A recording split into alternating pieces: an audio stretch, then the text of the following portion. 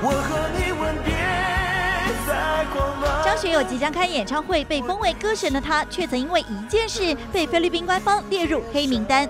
周六金钟奖登场，女主角入围名单有歌手转型演员的李千娜。